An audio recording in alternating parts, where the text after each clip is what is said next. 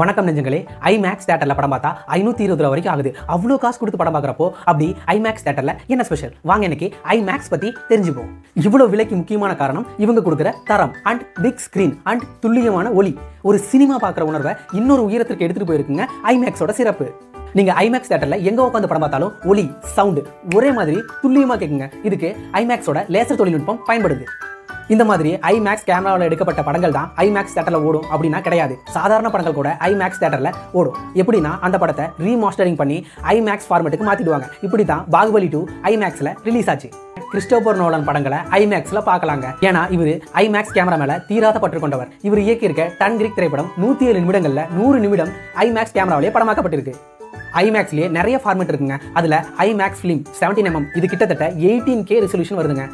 அடுத்ததா IMAX thirty five M M film ஃபார்மேட்டுங்க இது பன்னெண்டுலேருந்து பதிமூணு வரைக்கும் ரிசல்யூஷன் வருங்க.